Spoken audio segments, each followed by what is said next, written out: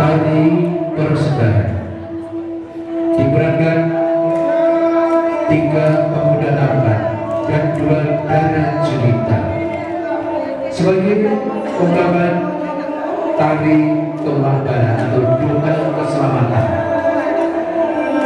Doa keselamatan untuk kita semua khususnya mendoakan keselamatan dan kebahagiaan untuk mempelai berdua.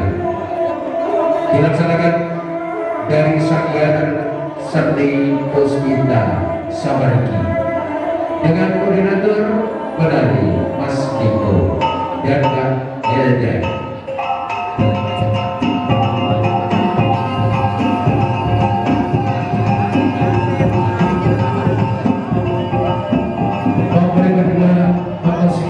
bahagia berbusana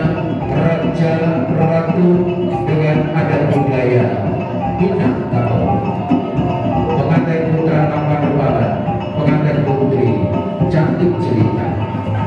Dirikan orang